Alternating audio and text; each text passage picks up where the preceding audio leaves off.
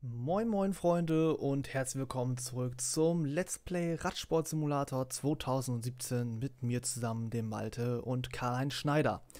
Ja Freunde, wie ihr jetzt schon tatsächlich sehen könnt, denke ich mal, ist das äh, von der Länge her keine normale Folge. Denn es ist was eingetreten, das hatte ich beim letzten Mal eigentlich noch wieder verschwitzt gehabt, dass ich beim vorletzten Mal es eigentlich noch auf dem Schirm hatte oder zum letzten Mal hätte haben sollen, nämlich die Vertragsangebote. Ja, Freunde, und die ganze Geschichte ist nämlich heute reingeschlittert, einige Tage quasi nachdem wir unsere deutschen Meisterschaftstouren durchgebracht haben, sind wir soweit, dass wir jetzt tatsächlich ein paar Vertragsangebote haben. Und äh, da ich dies nicht ohne euch entscheiden möchte und euch natürlich die Wahl lassen möchte, wie die Karriere von Karl Schneider weitergehen soll, ähm, wird das Ganze dementsprechend also so aussehen, dass wir ähm, ja äh, heute uns tatsächlich nicht um großartige Etappen kümmern, sondern einfach wirklich nur um die strategische Planung unserer Karriere oder der Karriere von Karl-Heinz. Ja, Freunde, also wir haben heute zwei Mails bekommen, beziehungsweise drei Mails bekommen. Gut, passen sie im Kalender an, ist mir egal. Ah, das kann ich eigentlich wegschmeißen, genauso wie das, das, das, das, das und das. Denn für uns, ja, weg. Dankeschön. Denn für uns relevant sind tatsächlich nur die Sachen hier rund um den Vertrag. Gut, ähm, wir können Vertrag 2018 auch nochmal weggucken. Äh, das können wir auch noch weg. Genau, das ist nämlich das tatsächlich für uns Relevante. Wir gehen nämlich zu den Verträgen und sehen hier also heute dann die Teams, die an uns mehr oder weniger interessiert sind. Ja, Freunde, und ihr seht es gleich, also erstens ist die Liste relativ lang, aber ihr merkt auch schon, es gibt hier Unterschiede. Viele, viele Unterschiede. Und äh, die sollte ich euch am besten mal erklären denke ich mal, dass das mal so vielleicht relativ zeitlich jetzt mal der Fall sein sollte, um einfach auch mal zeitweise Gedächtnis auf der einen Seite aufzufrischen, um auf der anderen Seite aber auch einige Fragen zu klären. So, also fangen wir erstmal an. Links natürlich die Teamnamen. Da seht ihr schon, ne, also erstmal LKT Brandenburg, unser eigenes Team seht ihr hier.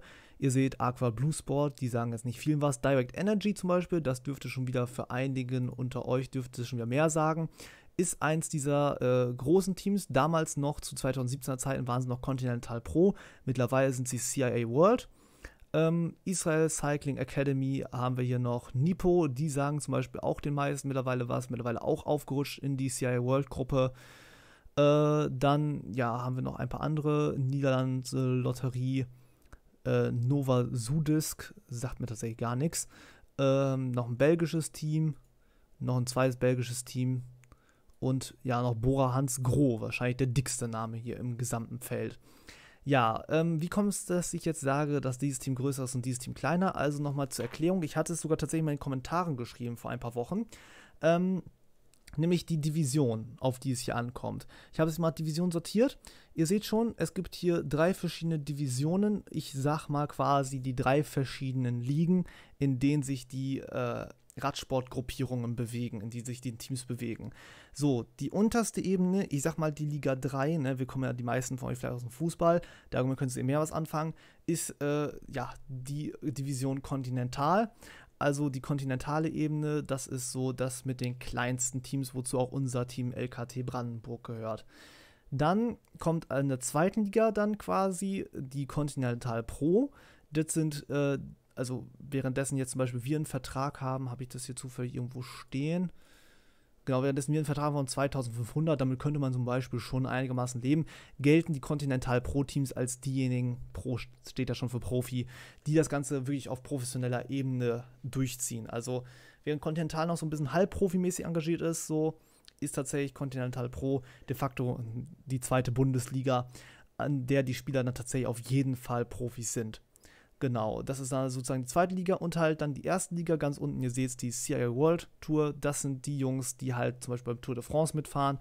Die ganz dicken Fische, wirklich die erste Garde unter den Radrennteams. Dementsprechend also, ja, seht ihr schon, also wir haben einmal ein kontinentales Angebot, also de facto Angebot, dann ganz viele Continental Pro Angebote und ein CIA World Angebot. So, und dazwischen gibt es jetzt auch noch Unterschiede.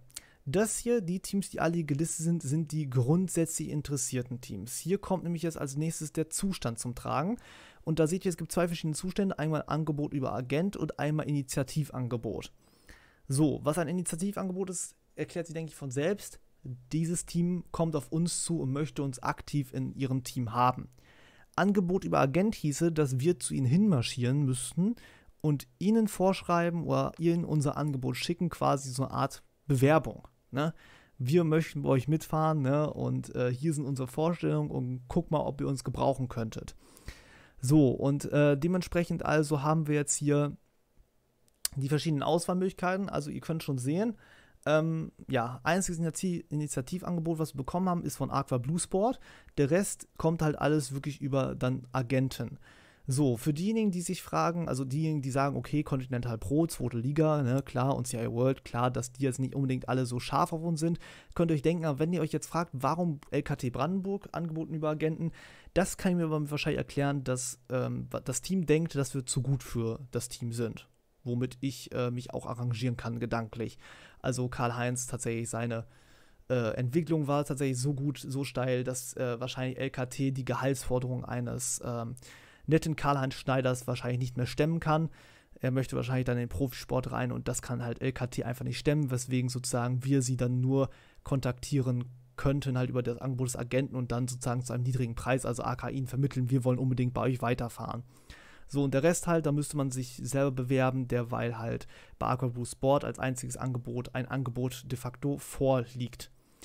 Ähm, genau, so, wie sieht das Ganze aus? Ich kann jetzt nur unschwer auf äh, ein Angebot abgeben klicken, weil ich glaube, dann muss ich tatsächlich ein Angebot abgeben, weshalb wir das nie machen können.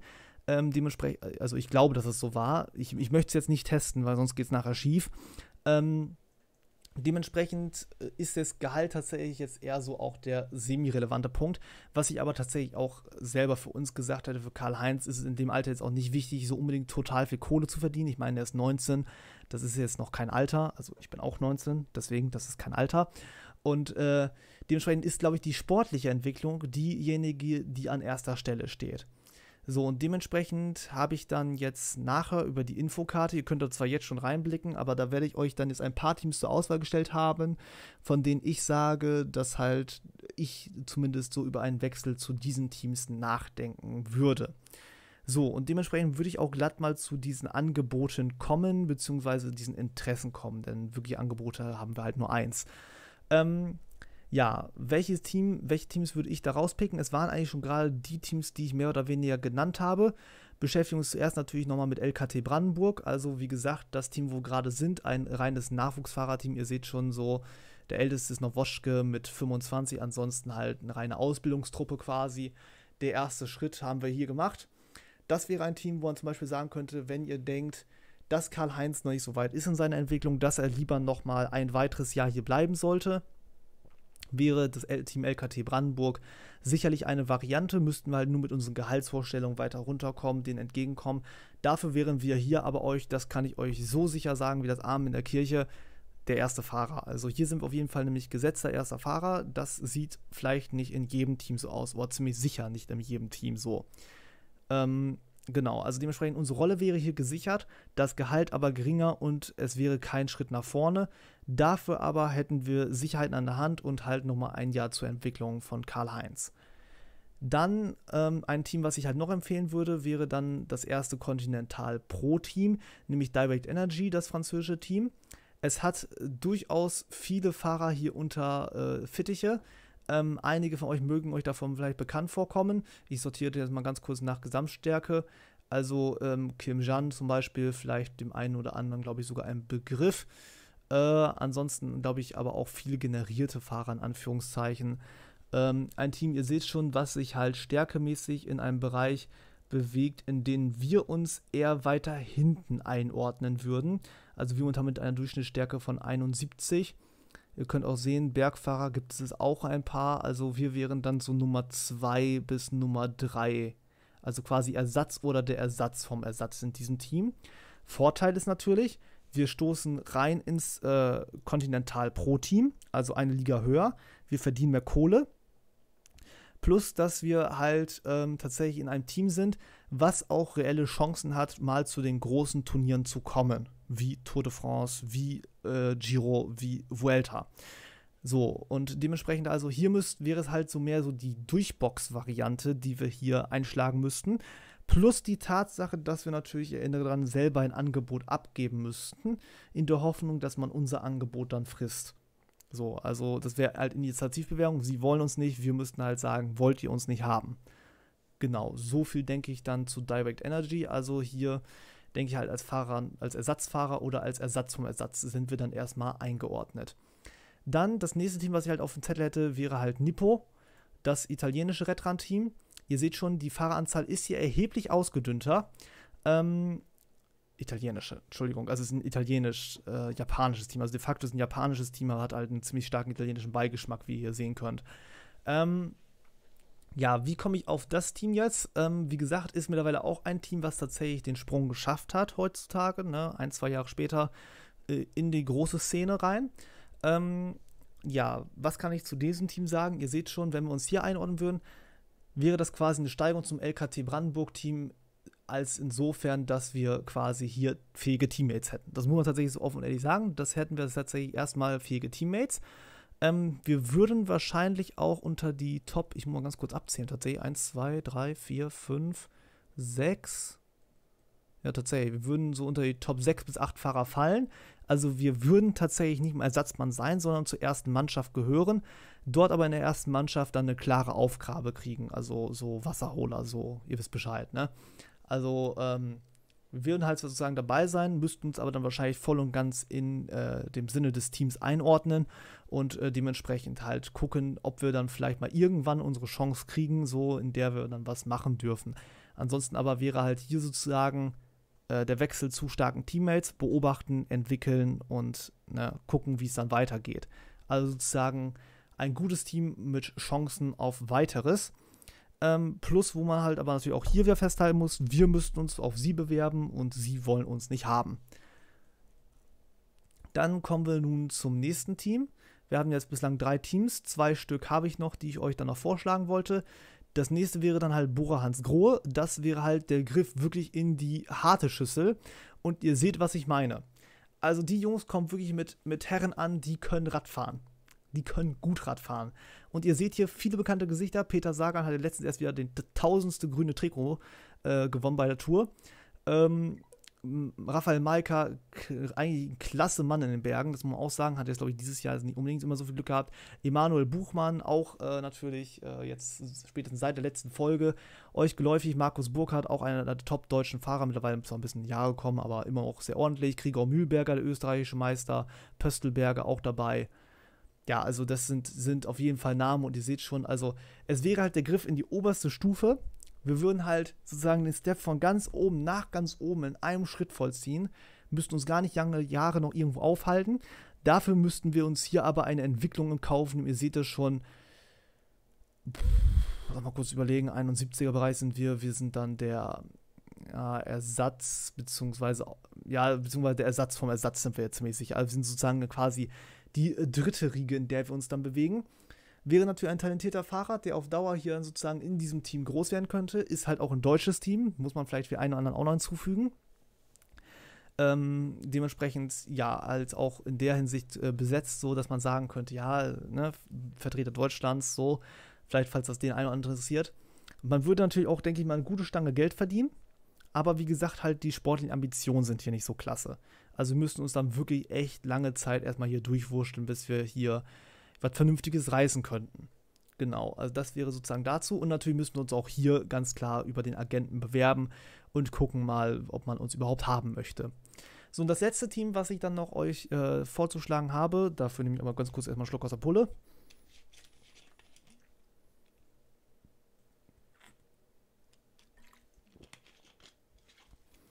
So, Entschuldigung ist dann halt Aqua Blue Sport, das Continental Pro Team, das irische Team, was ein Initiativangebot für uns abgesetzt hat. Ja, tatsächlich. Also, wir haben halt, wie gesagt, das ist halt das eine Team, was schon mal ganz besonders dadurch hervorsticht, dass es halt sagt: Komm her, Junge, wir wollen dich haben, wir brauchen dich, wir haben eine Rolle für dich. Das ist schon mal etwas, was schon mal aus meiner Sicht nicht unwichtig ist. Ich weiß nicht, wie ihr das beurteilt, so, aber ich fände das schon mal ein dickes Pro-Argument. Ähm, ansonsten kann man sich das Team angucken. Also, wie gesagt, es wäre halt der nächste Schritt für uns, der nächste Schritt in die richtige Richtung. Ähm, wir würden auch hier wieder zumindest ordentliches Geld verdienen.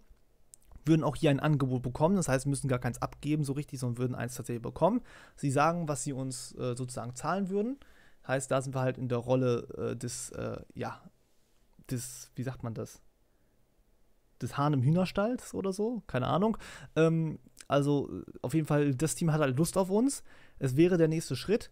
Ähm, rein sportlich muss man uns dann ganz kurz hier einordnen. Sieht das danach aus? Jetzt nicht erschrecken. 1, 2, 3, 4, 5, 6, 7. Wir sind auf Platz Nummer 8. Also wir dürften da tatsächlich noch relativ knapp reinrutschen ins Team. Also auch hier dürfte wieder gelten, plus die Tatsache, dass hier nicht alle Bergfahrer sind. Ähm, dürfte tatsächlich die Tatsache für uns gelten, dass wir knapp ins Team reinrutschen würden. Wir würden wahrscheinlich nicht bei absolut jedem Rennen in die erste Garde stehen, aber im Schnitt eigentlich erste Garde sein und könnten uns hier dann halt versuchen weiterzuentwickeln. Und ihr seht auch schon, hier sind auch Fahrer dabei, die sind auch tatsächlich teilweise im besten Alter, manche schon auch wirklich sehr erfahren, haben schon einiges gesehen, wie dieser Herr Nordic hier. Dementsprechend, also es wäre wirklich halt auch wieder ein Schritt in äh, eine Liga höher, keine zwei Ligen hoch. Ähm, eins für die sportliche Entwicklung, wo wir uns halt auch erstmal ein bisschen durchkämpfen müssten. Ähnlich wie beim Team Nippon, nur mit dem Unterschied quasi, dass die uns wirklich haben wollen. So, und das sind also dann die fünf Teams, wo ich sagen würde, die stelle ich euch zur Auswahl. Ähm, ich, wie gesagt, würde sagen, in der Infocard oben könnt ihr jetzt darüber abstimmen, welches Team dann Karl Schneider beitreten soll. Es ist, vergisst es nicht, wirklich eine wichtige Entscheidung, denn also gerade in diesen jungen Jahren ist das mit der Entwicklung ja so eine Sache, ne? Also wenn du jetzt hier einen falschen Schritt tätigst, das kriegst du später in der Karriere nur schwerlich wieder ausgebügelt. Dementsprechend also, Freunde, würde ich sagen, entscheidet euch auf jeden Fall weise. Ich äh, überlasse das euch. Ihr habt tatsächlich jetzt also die Karriere von Karl-Heinz Schneider in der Hand. Dementsprechend würde ich sagen, das dürfte soweit genügen an Worten von meiner Seite aus. Ich habe euch deswegen als auch wegen einer einzigen simplen Entscheidung fast eine Viertelstunde zugequatscht oder sogar noch mehr. Ähm, dementsprechend würde ich sagen, also ich bin raus für heute. Ich bedanke euch fürs Zusehen und würde sagen, wir sehen uns dann beim nächsten Mal wieder, wenn ihr mir eine Entscheidung an die Hand gegeben habt von euch. Gut, dementsprechend euch noch einen schönen Tag. Bis zum nächsten Mal. Haut rein und tschüss.